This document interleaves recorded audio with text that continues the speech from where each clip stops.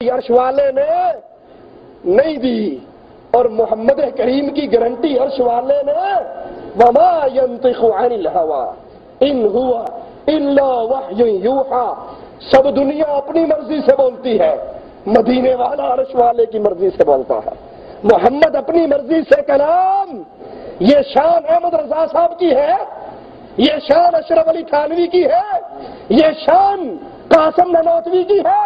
میرا مولوی، تیرا مولوی، میرا پیر، تیرا پیر، میرا شیخ، تیرا شیخ، میرا مرشد، تیرا مرشد، سب کو ایک طرف کر کے آؤ، مرشد پکڑو بلال کے مرشد کو، مرشد پکڑو ابو بکر کے مرشد کو، نام نامی اس میں گرامی محمد الرسول اللہ صلی اللہ علیہ وسلم، جس نے جاہلیت کی پکار بلند کی، وہ ہم میں سے نہیں۔ جاہلیت کی پکار جہلیت کے کام ماتم کرنا، سینہ کو بھی کرنا، چہرے کو پیٹنا۔ مگر نہ صرف وفات پہ غم ہو، اس کا کوئی حرج نہیں۔ رسول اللہ صلی اللہ علیہ وسلم فوت ہوئے۔ ابو بکر آئے، میرے نبی کے چہرے مبارک سے چادر اٹھائی، پیشانی پہ بوسا دیا اور کہا، یا رسول اللہ صلی اللہ علیہ وسلم، جو موت آپ کی قسمت میں تھی آ چکی ہے۔ جو موت آپ کی قسمت میں تھی، بولو۔ آ چکی۔ کون کہہ رہا؟ کون کہہ رہا؟ ہے ذرا اونچا کہو، کون کہہ رہا؟ ہے ابو بکر صدیق، کس کو کہہ رہے ہیں؟ رسول اللہ کو کیا؟ جو موت آپ کی قسمت میں تھی، وہ آ چکی ہے۔ کیا مطلب؟ محمد فوت ہو چکے ہیں، مر چکے ہیں۔ ابو بکر بھی بابی تھے یہ کہنے والا نبی نہیں مرے۔ نبی کو مردہ کہنا گستاخی ہے۔ ابو بکر نبی کے ماتھے پر بوسا دے کر کہہ رہے محمد کریم صلی اللہ علیہ وسلم، اللہ دو موتیں آپ پر جمع نہیں کرے گا۔ جو قسمت میں موت تھی وہ آ گئی۔ آپ مر گئے۔ یہ فتوا لگانے والوں کے نبی کو مردہ کہنے والا گستاخ ہوتا ہے، ابو بکر پہ کیا فتوا لگاؤ گے؟ آؤ آگے چلو۔ فاطمہ رضی اللہ تعالی عنہ بنت رسول، جگر گوش رسول، نبی کی وفات پہ کہتی ہے، یا بندا بابا بابا، اللہ نے بلایا اور تو چلا گیا۔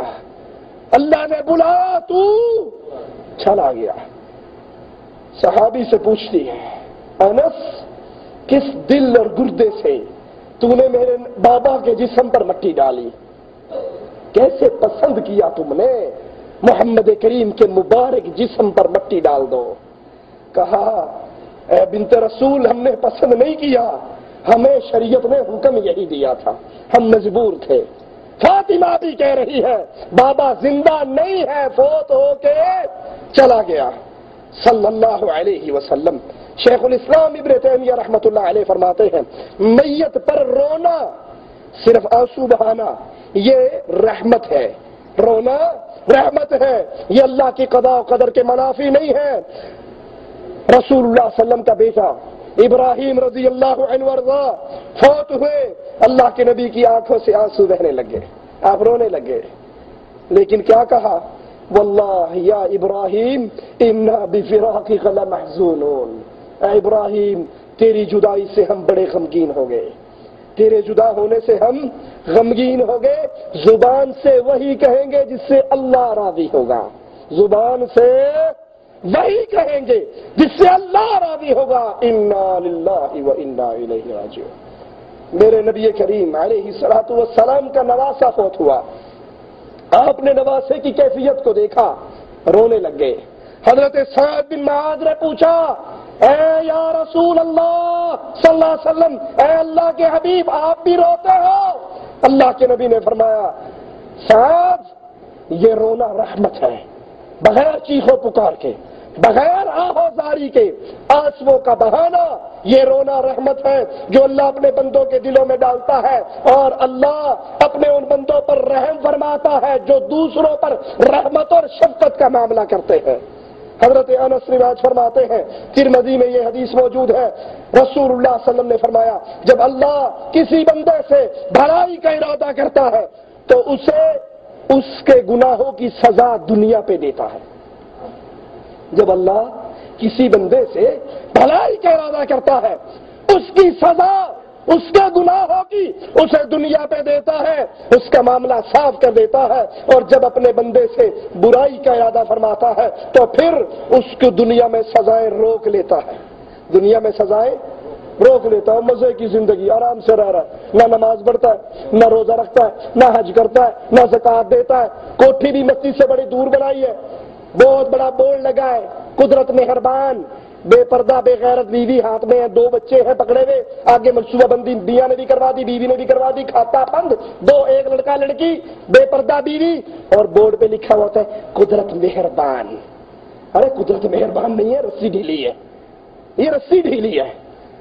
وہ اکثر اعتراض کیا ہوتا ہے؟ اجی، یہ دیکھو، یہ نماز پڑھتا ہے نا، روز اس کی بحث بیمار رہتی ہے۔ یہ نماز پڑھتا ہے نا، روز اس کے بچے کو بخار ہوتا ہے۔ یہ روزہ رکھتا رہتا ہے ہاں؟ یہ روز اس کی دکان میں گاٹا پڑتا ہے۔ میں نہ نماز پڑھتا ہوں، نہ روزہ رکھتا ہوں، نہ کچھ اور کرتا ہوں، بس جھوٹ نہیں بولتا۔ باقی میرے سارے کام کافروں جیسے ہیں۔ مجھ پہ قدرت بڑی مہربان۔ اللہ بڑا راضی ہے۔ کبھی بچہ بیمار نہیں ہوا، کبھی بخار نہیں ہوا، کبھی تکلیف۔ وہ حاجی صاحب تو ہمیشہ بیمار ہی رہتے ہیں۔ میں بالکل ٹھیک ٹھاک ہوں۔ سنا یا نہیں سنا؟ رسول اللہ صلی اللہ علیہ وسلم فرماتے ہیں، جب کسی کے ساتھ برائی کا ارادہ ہو، اللہ اس کے گناہوں کی سزا کو دنیا میں روک لیتا ہے۔ کیوں؟ جب آخرت میں آئے گا، گناہوں کے سارے پنڈارے ساتھ ہو گئے تو کہاں جائے گا؟ اور نیک بندہ جو نماز پڑھ رہا ہے، نماز پڑھ رہا ہے، نماز پڑھ کے باہر نکلتا ہے، جوتی کو اٹھا کے لے گیا۔ یہ کہتا ہے گھر آتا ہے پتا بیٹا بیمار ہو گیا۔ اس کی دوائی لے کر آیا، بیوی بیمار ہو گئی۔ کہتا اللہ پاک یہ اللہ کی آزمائشیں ہیں۔ رسول اللہ فرماتے ہیں اللہ اپنے بندے کو دنیا میں آزماتا ہے، یہاں تک آزماتا ہے کہ اس کی سارے گناہوں کے سارے معاملات میں بات کر دیتا ہے۔ وہ اس حال میں زمین پہ چل رہا ہوتا ہے کہ اس کے نام اعمال میں ایک گناہ بھی نہیں ہوتا، ادھر موت آتی ہے، ادھر جنت کھل جاتی ہے۔ لیکن کس کے لیے؟ یہ کس کے لیے ہے؟ جو صبر کرے، جو مصیبتوں پہ اور جو جوتی چوری ہونے کے بعد مولوی صاحب کے پاس مولوی صاحب تو تقریر سن سن کے مسجد گیا، اور جوتی چکی۔ ہم دو دو سو روپئے مجھے۔ آپ کی تقریر سن کے مسجد گیا تھا، جوتی چوری ہوگی؟ مولوی کا کیا قصور ہے اس میں؟ مولوی صاحب جب سے نماز شروع کی ہے، جانور بیمار ہونے لگے۔ یہ آزمائشیں ہیں۔ اللہ آزماتا ہے تمہیں کہ یہ پکے میری طرف دل لگا کے آ رہے ہیں یا ڈاما ڈول ہے؟ ٹھیک ہوتا رہا، چلتے رہے، جہاں تھوڑی تکلیف آئی، پا جی اپنا سلام۔ ست سلام ایسی نمازوں کو ہم نہیں کر سکتے، ہم کاروباری آدمی ہیں۔ شیخ الاسلام رحمت اللہ علیہ فرماتے ہیں، دنیا میں مشکلات و مسائب کا آنا نعمت ہے۔ اس کو عذاب نہ سمجھو، اس میں پریشان نہ ہو۔ دنیا میں مسائب و مشکلات کا آنا ایک نعمت ہے، کیونکہ اس سے گناہ مٹ جاتے ہیں۔ جب انسان مسائب میں مبتلا ہوتا ہے، اس کا ثواب الگ ملتا ہے۔ سبحان اللہ۔ مصیبت آنے سے گناہ تو معاف ہوتے ہیں، لیکن جب وہ مصیبت میں پھنستا ہے اور اس پہ صبر کرتا ہے، اس کا سباب الگ ملتا ہے۔ اور مسائل کے ٹوٹنے پر، مسائل کے آنے پر مسلمان کیا کرتا ہے؟ ٹینشن ہو تو مسلمان کیا کرتا ہے؟ ناراض نہ ہونا کڑوی بات کرنے لگا ہوں۔ اللہ سب سے پہلے مجھے اس پہ عمل کی توفیق عطا فرمائے۔ دیندار بندے پر مصیبت آئے تو کیا کرتا ہے؟ اللہ کے نبی پر پریشانی آتی تو کیا کہتے تھے بلال سے؟ ارحنا یا بلال. بلال اذان دو دو رکھتے نماز پڑھے اللہ سے باتیں کریں، کو دل کو سکون ملے۔ اور ہم کیا کرتے ہیں مصیبت آنے پہ؟ پریشانی آئی، کوئی بیماری کا فون، کوئی ٹینشن آئی، ڈبی نکال لی میں سگریٹ کیوں پیتے ہو؟ مجھے صاحب، بڑی پریشانی، ٹینشن ہے، ٹینشن ریلیز کر رہا ہوں۔ بھئی یہ کون سی ٹینشن ریلیز ہے؟ ٹینشن آئی، پریشانی آئی، غم آیا، دکھ آیا۔ فوراً وی سی آر لے کے فلمیں دیکھ کے بیٹھنے کیا؟ اچھی بڑی ٹینشن ہے، دماغ ریلیز کر رہا ہوں، بڑی پریشانی ہے پیچھے۔ تو ذرا فلمیں دیکھ کے نا، روح کو سکون ملتا ہے۔ یہ موسیقی ہماری روحوں کی غذا ہے نا؟ ہے یا نہیں ہے؟ بھائی، روح دو طرح کی ہے۔ روح کتنے طرح کی ہے؟ دو طرح کی۔ ایک کہا جائے گی؟ جنت میں۔ ایک کہا جائے گی؟ جہنم میں۔ قرآن کون سی روح کی غذا ہے؟ جو جنت میں جائے گی، تو پھر خود ہی سوچ لو، نور جہاں کے گانے کون سی روح کی غذا ہے؟ لتا منگیش کے گانے کون سی روح کی غذا ہے؟ انڈین